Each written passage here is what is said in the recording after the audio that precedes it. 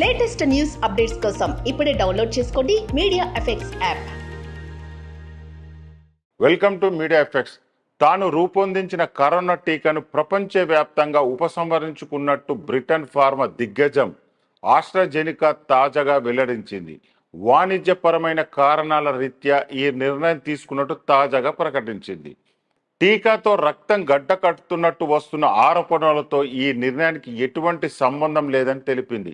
ఇది కేవలం యాదృచ్ఛికమేనని వ్యాఖ్యానించింది. ఈ టీకా తయారీ సరఫరా నిలిపివేశామని మార్కెటింగ్ అనుమతులు కూడా వెనక్కు తీసుకుంటున్నట్టు కంపెనీ పేర్కొందని అంతర్జాతీయ మీడియా వెల్లడించింది.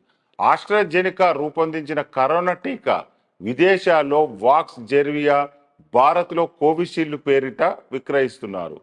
వాక్స్ జెర్వియాతో రక్తం గడ్డగట్టి బాధితులు మరణించిన ఉదంతాలు బ్రిటన్లో వెలుగు చూడడంతో బాధితులు న్యాయ పోరాటం ప్రారంభించారు. టీకా కారణంగా యూకేలో ఎనభై ఒక్క మరణాలు తీవ్ర అనారోగ్యాలు తలెత్తినట్టు కేసులు దాఖలయ్యాయి. ఈ నేపథ్యంలో తమ టీకాతో రక్తం గడ్డగట్టే సమస్య ఉన్నట్టు ఆశ్రజనక అంగీకరించింది. ఐరోపా దేశాలు టీకా వెనక్కు తీసుకునేందుకు మార్చి ఐదున సంస్థ దరఖాస్తు చేసుకుంది. మంగళవారం నుంచి ఈ ఉపసంహరణ అమలులోకి వచ్చింది. బ్రిటన్ సహా ఇతర దేశాల్లోని త్వరలో టీకా ఉపసంహరణ దరఖాస్తును కంపెనీ దాఖలు చేయనుంది. కరోనాను తుదముట్టించడంలో మా టీకా పాత్రను చూసి గర్వపడుతున్నాం. సంక్షోభం తొలి ఏడాదిలో టీకా వినియోగంతో ఏకంగా అరవై ఐదు లక్షల మంది ప్రాణాలు దక్కించుకున్నారు. ప్రపంచవ్యాప్తంగా ఇప్పటి వరకు వంద కోట్ల టీకాలు సరఫరా చేశాము.